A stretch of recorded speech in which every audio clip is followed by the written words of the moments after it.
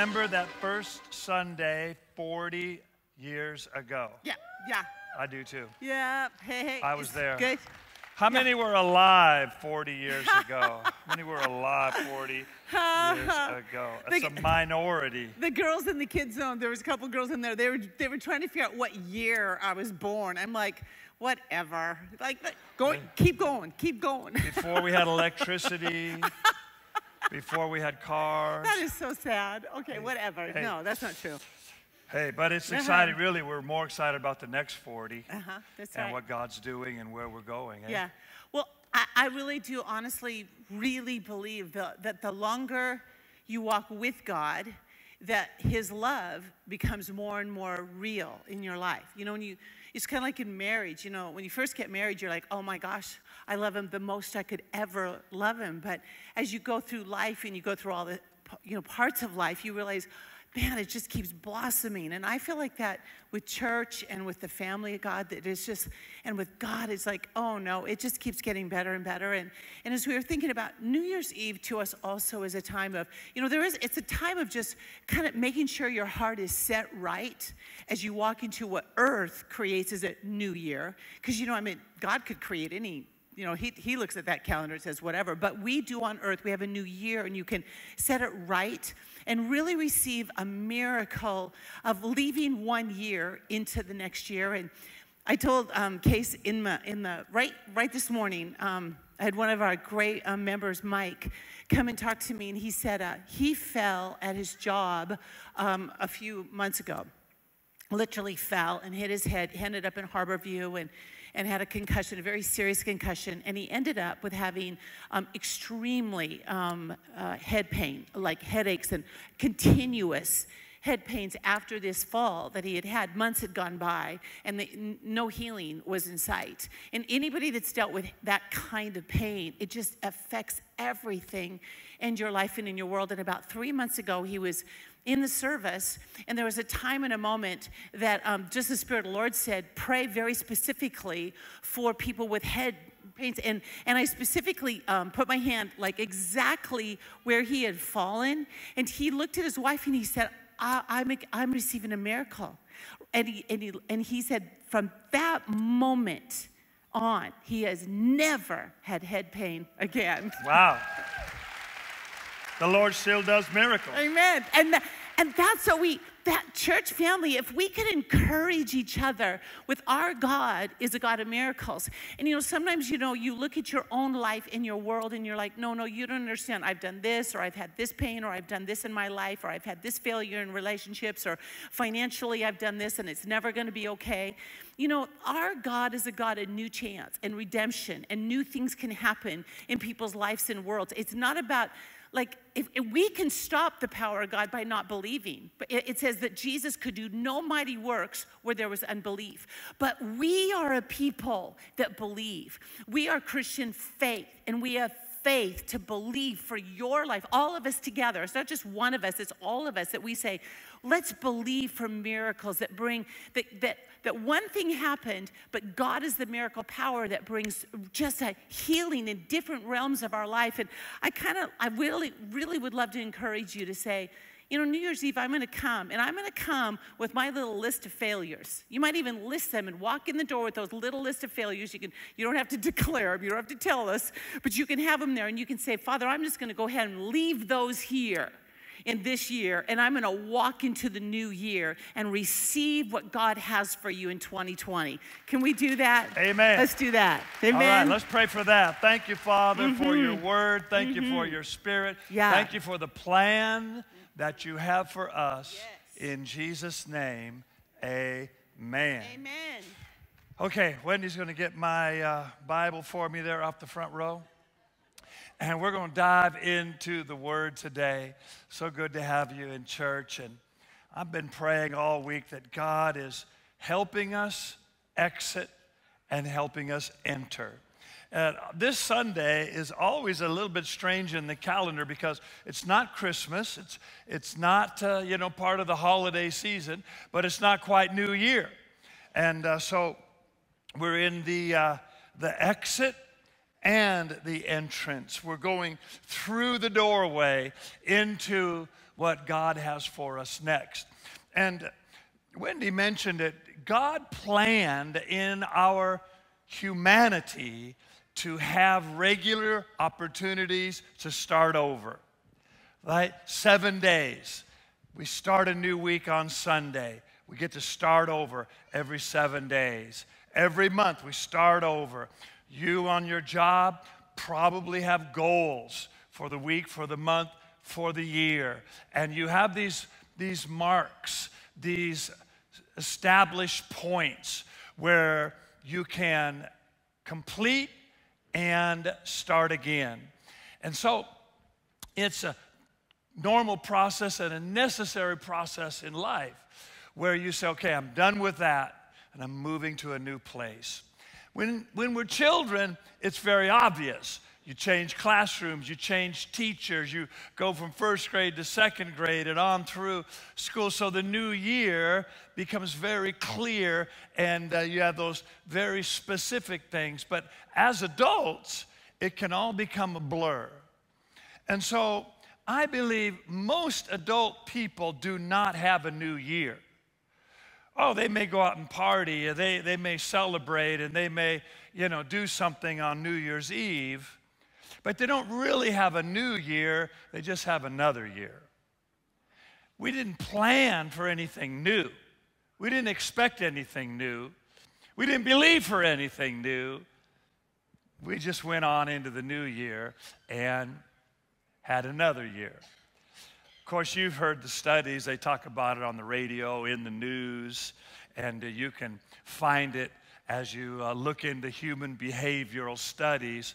Most of our New Year resolutions have ended by the end of the first month.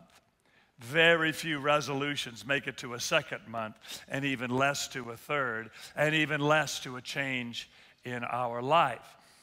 However, you were created to have vision, to have dreams, to have goals, to have things that you reach for and believe for. God designed you that way. That's the way He is, and you're made in His likeness and image. God had a dream of humanity made in His image in a relationship with Him.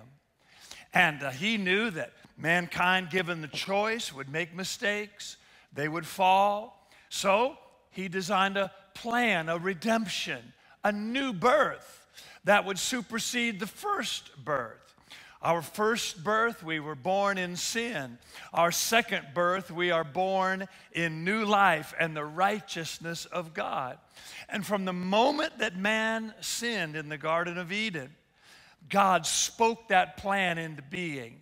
He said to the serpent, the woman will give birth to a child. He got very specific as the Old Testament went on. He began to speak that new birth. He said, He'll be born in Bethlehem. He'll be born in this family, in this tribe.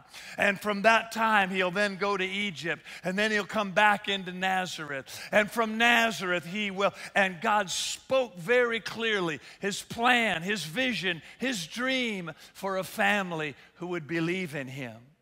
And so you and I are here in church thousands of years later because God had a vision and He wanted sons and daughters. So we are not just servants of God.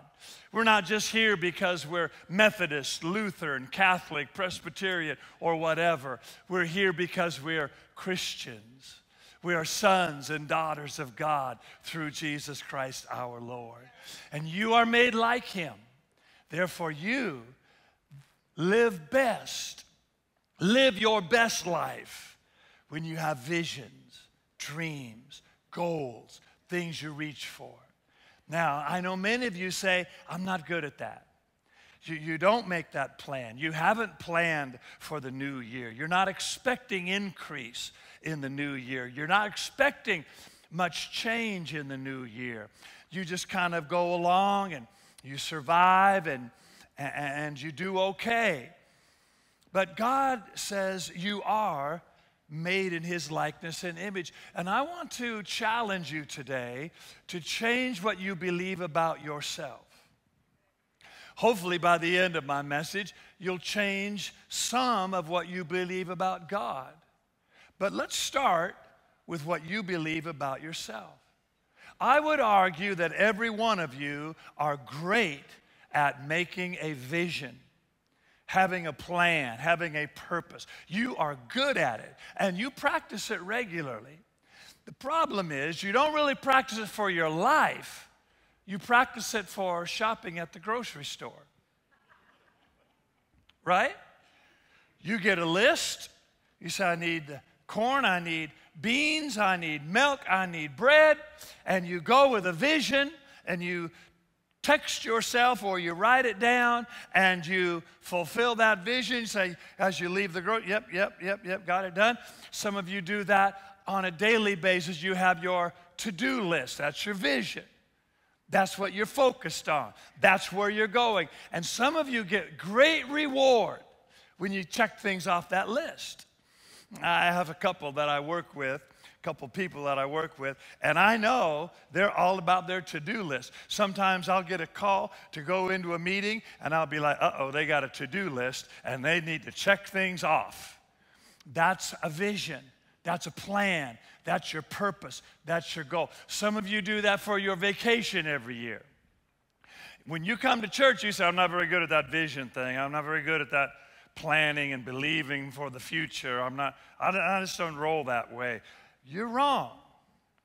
I want you to change what you believe about yourself. When it comes to your vacation, you are a visionary, you are a planner, you get on a mission, and you fulfill that mission. You start talking about, we're going to Disneyland, and we're going to go on Alaska Airlines, and we're going to stay at the Disneyland Hotel, and we're going to get a Uber from the airport, or we're going to rent a car. Boy, you got that vision laid out. And when we get into Disneyland, the first thing we're going to do is buy us some Mickey ears. And we're all going to wear the Disneyland sweatshirt. And then we're going to go see the princess says, we're going to get some princess pictures. You have a vision, you have a plan, you have a mission, and you fulfill it. And don't let any child get in the way of your plan. right? It always happens, doesn't it? Two hours into the Disneyland trip, the three year old is finished.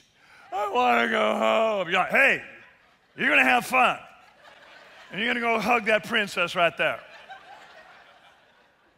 You're on mission. You have a vision. You planned this and you want it to succeed. What if you did that for January, February, March, and April, and the rest of 2020? What if you did that for your health, and your eating, and your prayer, and your Bible study, and your marriage? And you and your husband got in agreement. 2020, our marriage is going to a new place. We're going to write down a couple things. We're going to get better at it. We're going to write down a couple things that'll make our marriage more of what we want.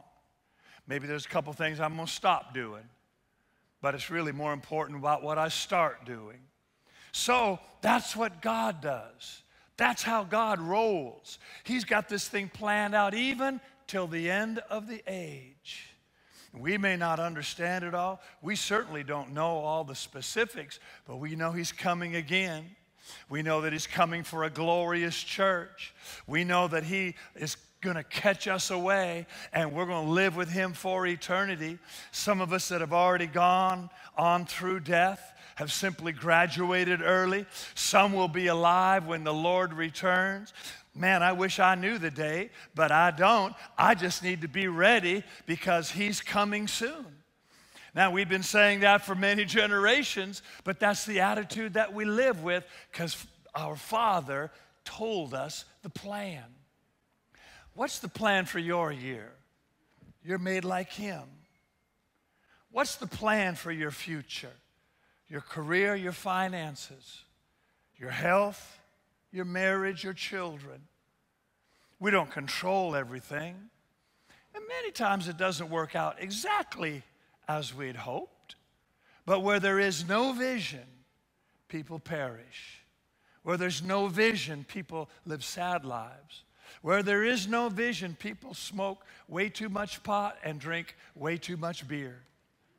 Because where there is no vision, you spend a lot of time medicating the pain of your reality. When you have a vision, you're moving past your pain. When you have no vision, you're living in your pain. So, are you moving on or surviving in? Many of us pride ourselves I'm a survivor. I'm just hanging in there. I'm just living life. I take things day by day. That's not how you were created. You'll never have your best life thinking that way. Start with a plan. Here's how I eat. Here's how I pray. Here's how I believe. Here's where I am with my career. Here's where I want to be with my career. And you start thinking that way and dreaming in 2020. Whoo, you'll be surprised at what the Lord can do. Wendy said it. Jesus met some people where he could no, could do no mighty works, they wouldn't let him, they wouldn't believe. But then he met other people where he did amazing works. Which one are you?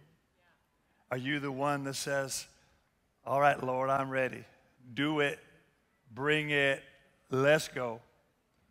Or are you one of those ones with your head down saying, Well, I don't think it's going to happen, and I'm just going to try to get by, and my husband won't let me, and my wife probably won't agree. And we can all find reasons to stop, or we can all look up to the Lord and start to go. I want to share a story with you this morning from the Old Testament. It's about a king named Jehoshaphat. That's a great name, isn't it? Let's start a movement, start naming our kids Jehoshaphat. You can call him Josh, you can call him Haas, you can call him Fat you would have three kids, Jehoshaphat. And I mean fat in a good way. That is fat.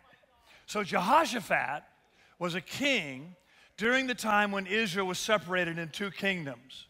One was called Judah, the tribe of praise, and Jerusalem. The other was called Israel, and that was made up of 10 tribes. So Jehoshaphat was a king for 25 years. He's a very godly king. He sought the Lord, he was faithful to God. In fact, Jehoshaphat started church campuses in the sense that Jehoshaphat sent the priests around the nation to teach the Bible on a regular basis. He was one of the first kings to do that. In other words, make the Bible a part of the people's consciousness and how they lived. So Jehoshaphat was a great king. But one point in his life and his reign, several nations, which are really tribes, people groups, gathered together to take him out. It's no different from today.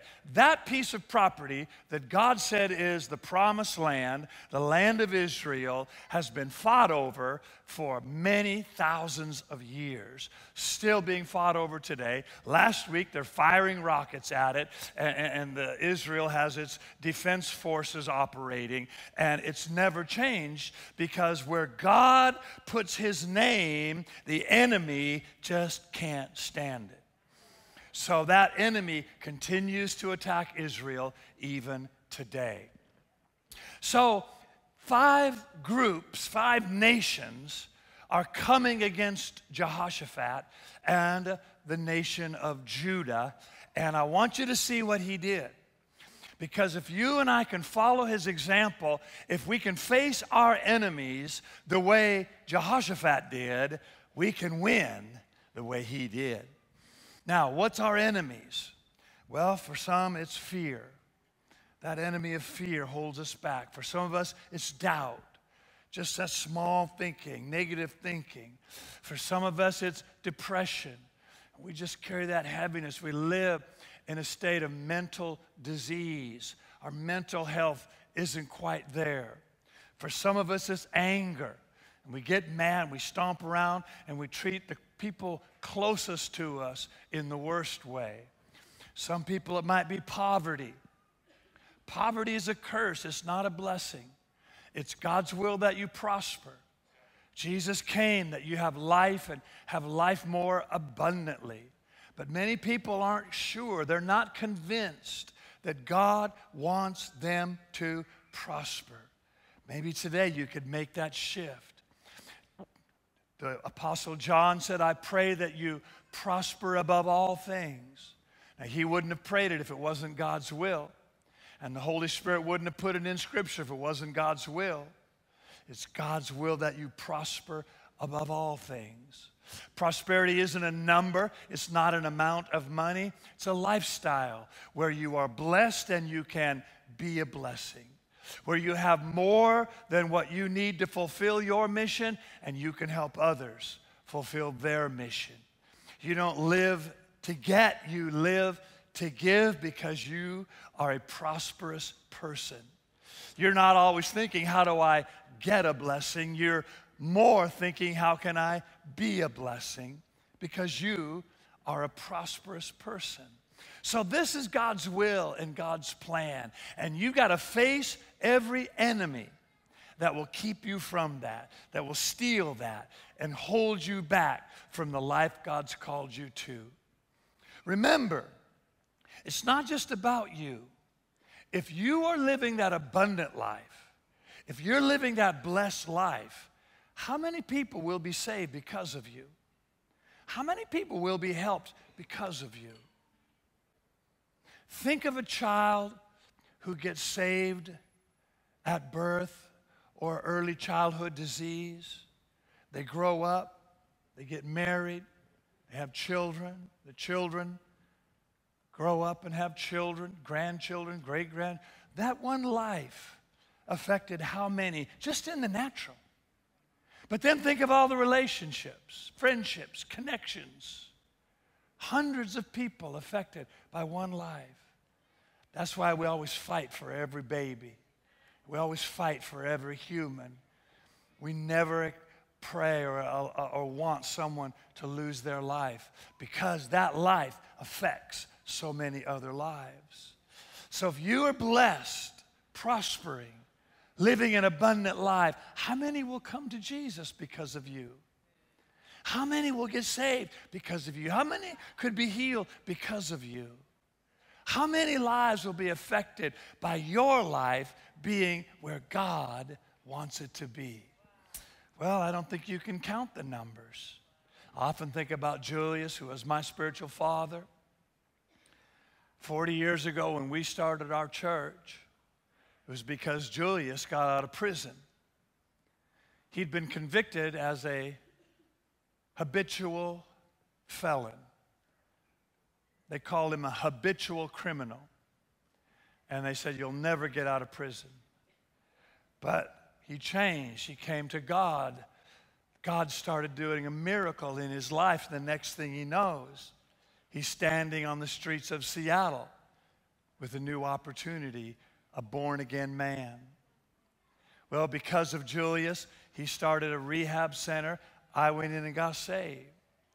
Well, you're all sitting here today because of this church, and it all started with one habitual criminal, one man.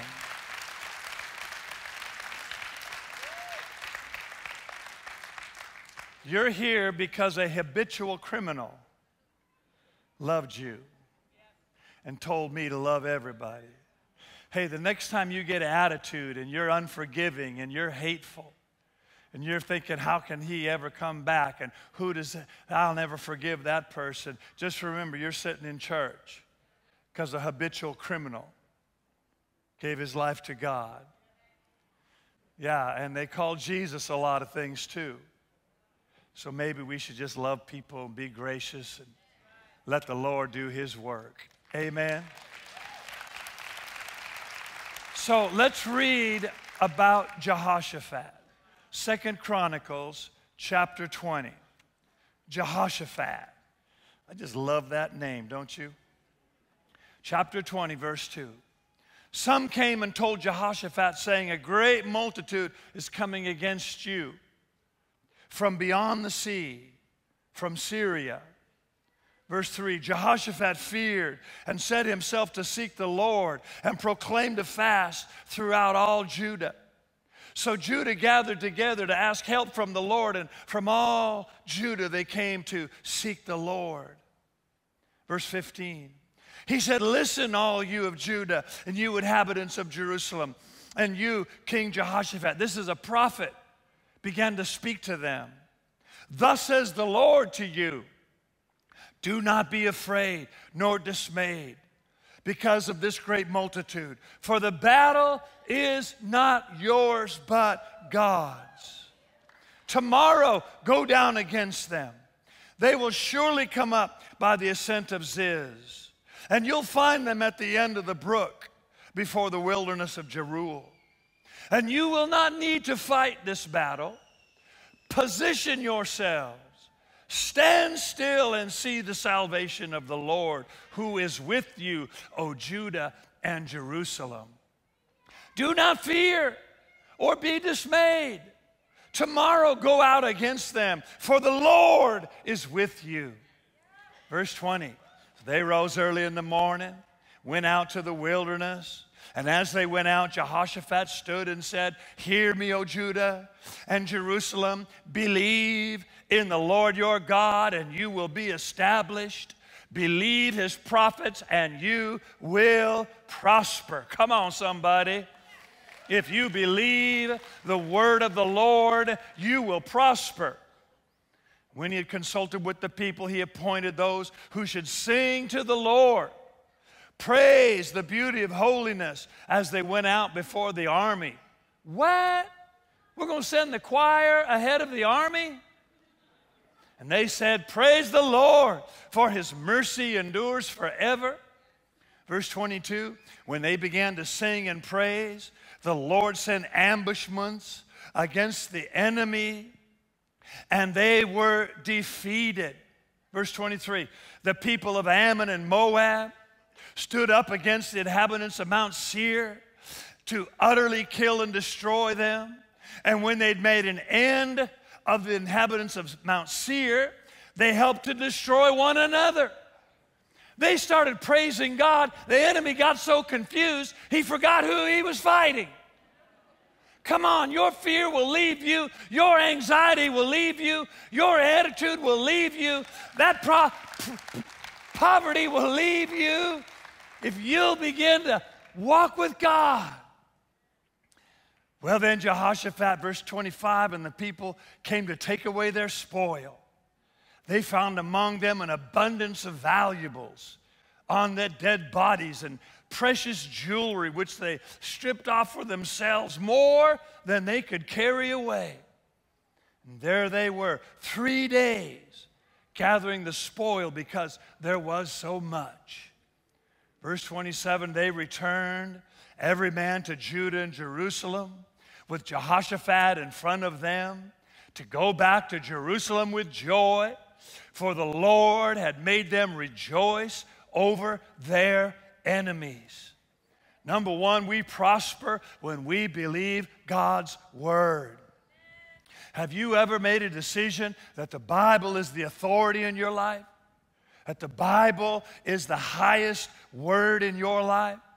What God said is more important than what you feel, than what is your tradition, your family's tradition, your, your national culture, anything is second to this word of the Lord.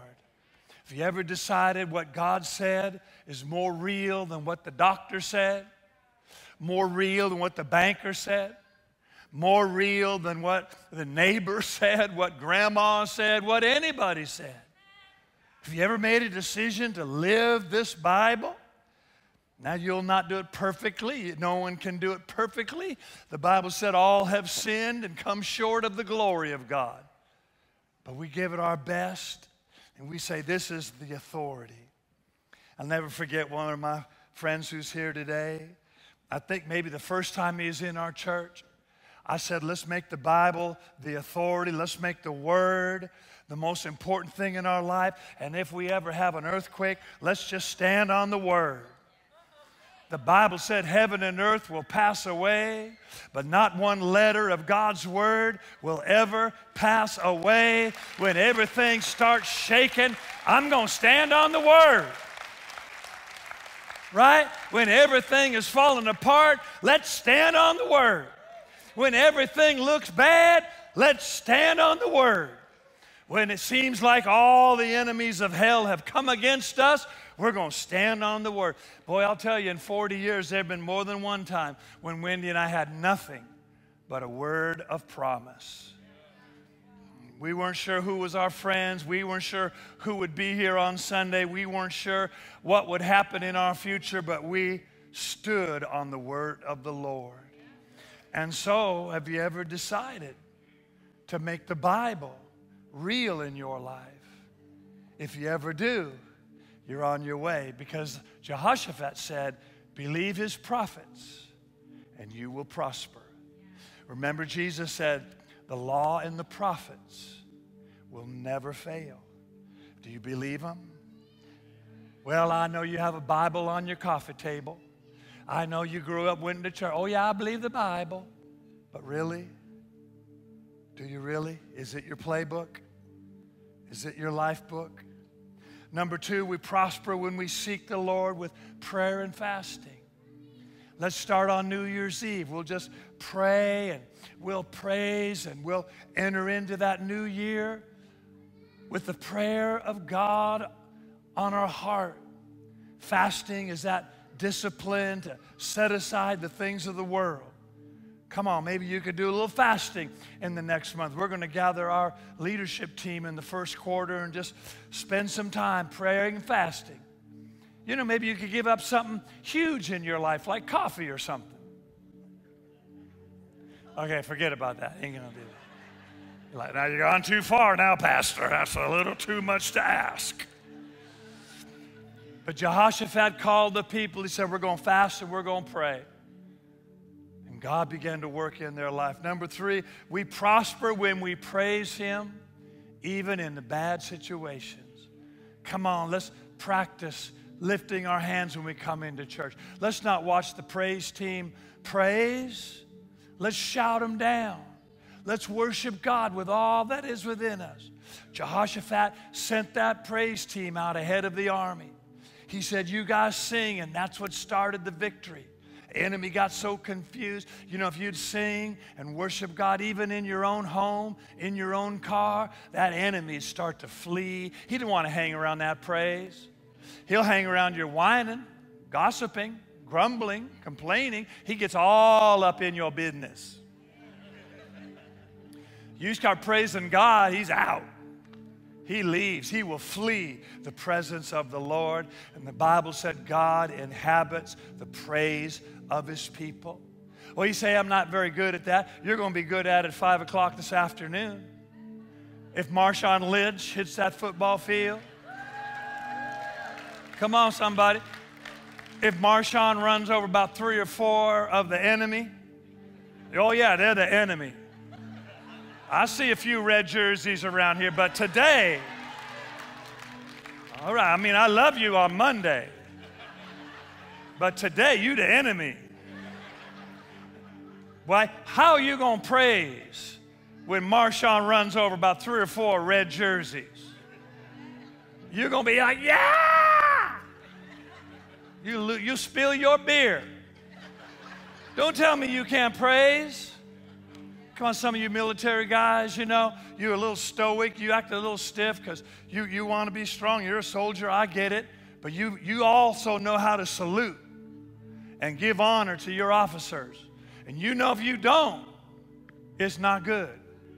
When was the last time you saluted your Father in heaven? When was the last time you gave honor to your God? When was the last time you worshiped Him and gave a salute to God with both hands in the air? Come on, don't tell me you can't praise the Lord. When you start praising God, your enemy gets confused, your enemy gets pushed back. We prosper when we dream with what God has for us.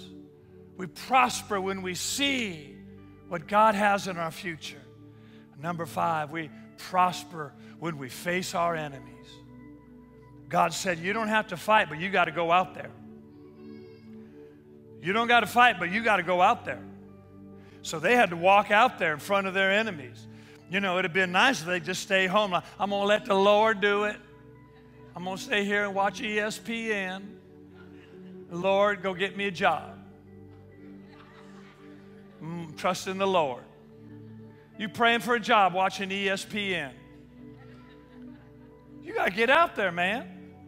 You got to knock on doors. You got to talk to people. Well, I thought I let, let the Lord do it. He ain't going to do it if you're sitting at home on the couch.